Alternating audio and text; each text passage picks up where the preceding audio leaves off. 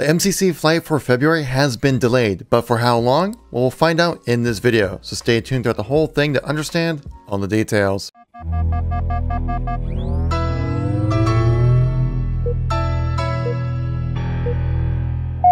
If you're looking for some additional Halo content, check out my Instagram page, link in the description down below. There I've been posting daily screenshots of some awesome Halo moments. Make sure to follow the instagram.com slash kevinkoolx, link in the description down below. How's it going everybody? It's Kevin here once again giving you our news and informational video when it comes to Halo. If you like these kind of videos, make sure you tap that like button. Let me know you want to see some more content like this. You want to stay up to date with everything going on with Halo as we ramp up to the release of Halo Infinite, make sure you tap subscribe Let's get right into the content here. Well, the original plan was to flight on February 18th. Well, that date has come and passed, and we're not planning the flight right now. That's because it has been delayed. I did let you guys know on my community page here, so if you want to stay up to date with news bits that kind of just happen where maybe I don't have time to make a video for that moment, make sure you subscribe to the channel to keep up to date with those community posts. And I also do do a lot of polls and let you guys kind of in with all of the content and stuff happening with the channel, so subscribe there as well. Postums let us know in a tweet here saying, PSA, Hey all, we have a handful of Ring 3 blockers for the next public flight. The team is heads down on these and are looking to next week as our new starting point for this month's flight. More details will come tomorrow's MCC Devon flight update. And I always make a video about those updates when it comes to MCC that come out at the end of the day on Friday. Usually upload those on Saturday morning, so I'll let you guys know as soon as that information comes around. But right now, yes, we are currently delayed at the moment.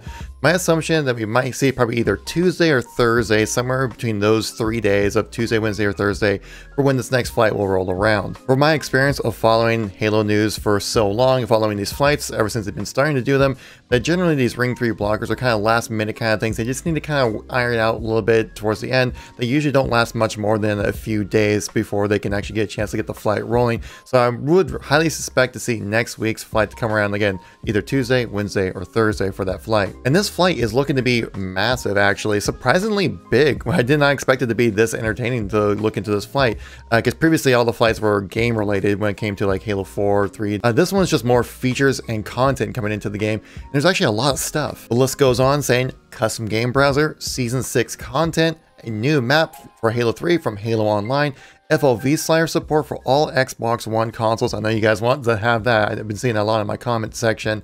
FOV slider will no longer be locked when Xbox Series X slash S devices are set to 120 Hz, double keybinds, mouse and keyboard support for consoles, advanced audio options, as well as view model customization. That's not it. We're also going to have a chance to play around with the MCC store that's been coming in. If you guys been out of the loop for the last few days or so or haven't checked out all my videos, that they are having a store coming in with season 6 of the MCC where you can spend your seasonal points to unlock specific items that might have been locked behind a challenge that you necessarily can't get anymore. Like the Arctic camo that was for the recon playlist if you hit level 25 I believe. Well, obviously you can't play the recon playlist so how do you unlock that? Well, it looks like they'll probably add something like that into the store. Or maybe people who have been having issues with the Because You Beg challenge that you can't land on that elite quite right to get that Mr. Chief helmet. They probably put that in the store as well, just so people can earn it.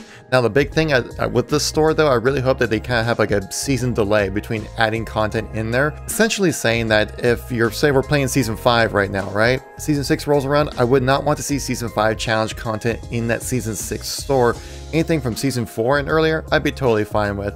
But the big thing about customization is being able to kind of showcase your dedication to the game, right?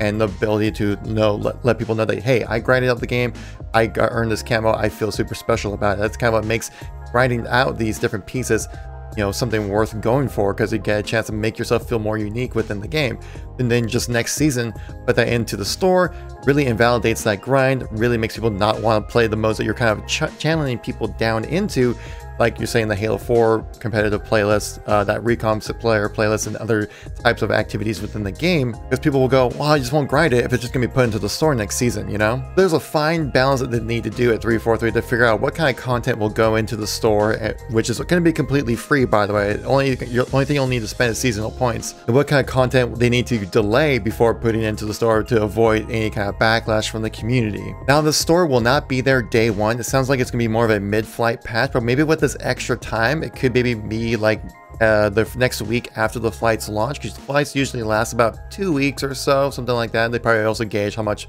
the population has maybe dropped off from the initial launch of the flight. But maybe with this extra time, we could see the store at launch. Again, I'll be making content all about this flight so you guys can see everything, how it all works out individually, like the new map from Halo Online being put into Halo 3, Season 6 content, the MCC custom browser, and also with all the other options coming in with the game as well. I'll definitely be making videos showcasing all the awesome stuff coming in as soon as that flight happens for us.